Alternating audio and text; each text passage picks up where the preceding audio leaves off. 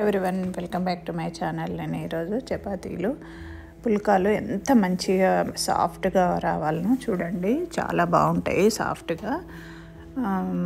మనం హాట్ బాక్స్లో పెట్టుకోకుండా చాలా మెత్తగా ఉంటాయి. ఎలా చేయాలో చూడండి. నేను మూడు కప్పుల గోధుమ పిండి తీసుకున్నాను. దాంట్లో కొద్దిగా సాల్ట్ వేసుకొని నీళ్ళు సరిపడంత చూసుకొని వేసుకొని వేళ్ళతో కదుపుకుంటూ చూసుకొని వేసుకోవాలి వాటర్ని. మరి ఎక్కువ వేసుకోవద్దు. ఇలా మెత్తగా సాఫ్ట్గా అయ్యేటట్టుగా ముద్దగా తడుపుకొని ఒక హాఫ్ అన్ అవర్ పక్కన పెట్టుకోవాలి. కొద్దిగా ఆయిల్ రాసి పక్కన పెట్టుకో పక్కన పెట్టుకోవాలి. ఒక హాఫ్ అన్ అవర్ తర్వాత మనము ఇక ఇట్లా చపాతి ఉండల్లాగా చేసుకొని పొడి పిండి పొడి పిండి వేసి పీటతో పొడి పిండి వేసి పీట మీద రాకేసుకోవాలి.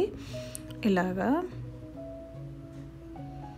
ఎంత సాఫ్ట్గా వస్తాయంటే ఇవి చపాతీలు. చాలా బాగుంటాయి టేస్ట్ కూడా.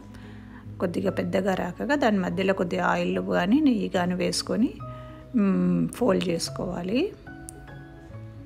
ఇలా మడత పెట్టుకొని మళ్ళీ రాకితే దాన్ని చాలా సాఫ్ట్గా వస్తాయి. పొరలు పొరలుగా వస్తాయి చపాతీలు అయితే చాలా బాగుంటాయి.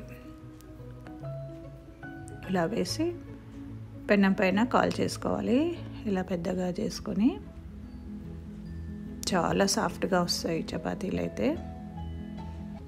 డైరెక్ట్ కూడా అలాగే నిన్న తినేయచ్చు. నెయ్యి కానీ నూనె కానీ వేసుకోకుండా ఇష్టం ఉన్న వాళ్ళు నెయ్యి కానీ నూనె కానీ వేసుకుంటే ఇంకా మంచిగా ఉంటుంది టేస్ట్. ఎప్పుడో ఒకసారి ఇలా వేసుకుంటే చాలా టేస్ట్ ఉంటాయి. ఎంత మంచి పూరిలాగా ఉబ్బుతాయి ఇవి అయితే మడతబెట్టి చేసినందుకు.